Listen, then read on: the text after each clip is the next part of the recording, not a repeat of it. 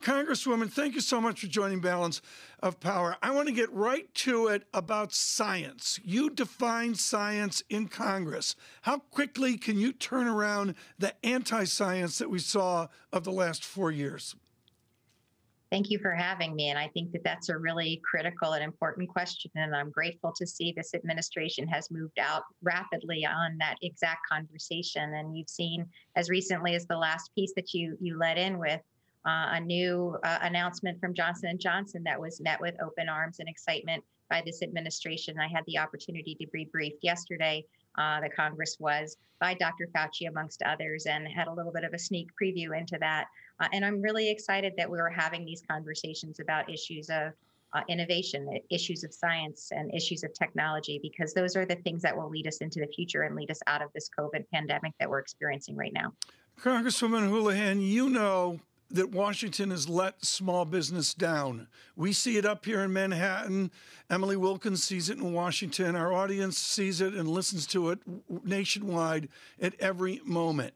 What is a prescription to actually jumpstart small business, get them through this crisis, and then move on from there? So you're right. You know, we have let the the small business community down. A hundred thousand businesses in May alone were shuttered for good uh, in our country, and and never probably to open again. And so it is our responsibility to elevate the importance of the small business community because 99.7% of all businesses are small businesses in our country.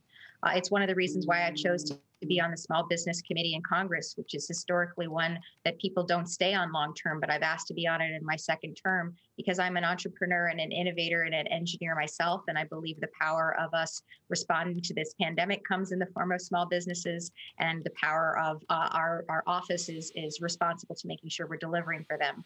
It's why I introduced my very first bill of the 117th Congress this week, which is called the Ramp for Innovators Act it's exactly what it sounds like. It's an on ramp for innovators to be able to have better access, quicker access uh, to funding, to seed capital right. from the SBIR and the STTR. Mm-hmm. Congressman, I also wanted to ask a little bit. You know, right now, small businesses are suffering, startups are suffering. Does anything need to be done specifically in any upcoming stimulus bill to make sure that these two groups are being taken care of? What do they need in the short term? So in the short term, you've seen some um, uh, some beginnings of responses in the form of the Paycheck Protection Program uh, program. You've seen it in EIDL, the Emergency Disaster Loan Program. You've seen us in subsequent um, uh, efforts and tranches in, in our COVID response, working down, making sure that we're getting to those phase zero businesses, those zero and one employee businesses, uh, those startup businesses, those women and minority and veteran owned businesses to make sure that we're finding everybody where they are and we're elevating them during this pandemic. Uh, but it also is also looking towards the future and making sure that we're providing better on ramps for people so that when we're coming out of this pandemic, we're creating millions of companies, not just millions of jobs that allow us to be able to scale rapidly and create jobs uh, for the future economy. You use the term on ramps. Can you dive into that a little bit more? I mean, what is exactly preventing someone who wants to start a small business or start a startup from doing so at this point? Like, what additional things are needed besides someone just having the will to do so? Of course, you know, I mentioned that I come out of the entrepreneurial world, world and my job primarily has been as an operator. Uh, I'm the person who comes in when the idea has been had and helps to commercialize it and execute on it. And those are some of the things that are most difficult to do. Many people have very good ideas, but if they don't have access to capital when they need it, and if they don't have help in commercializing and optimizing their idea, they probably won't succeed. And that's exactly what this program is trying to do this on ramp for people people to be able to use the capital, but also the expertise to be able to commercialize mm-hmm. and to be able to have patent control that is necessary for us to be able to be competitive. Uh, good morning and uh, good afternoon. Balance of power on radio and television. Markets deteriorating, negative 600 uh, right now on the Dow, just below 30,000. We'll have much more. GameStop and that crew pretty much stable here right now. Captain Houlahan, I've got to ask a question, and you are qualified. Politicians love to walk the walk, talk the talk. You did it. You were in the Air Force uh, up at Hanscom outside Boston. How's the Pentagon doing, and how does the Pentagon adapt and adjust to this new administration? It's a great question. My job when I was up at Hanscom Air Force Base is, is very relevant to this conversation. It was about trying to figure out what the future programs that we needed to create to address future threats were. Uh, and we need, as a, as a military, to be much more innovative, to be much more uh, quick and agile than we have been historically. And so I did have the opportunity to have a conversation with some of the new folks in the Air Force, particularly in this administration, about that exact issue of how can we be more flexible? How can we we be more agile and dynamic?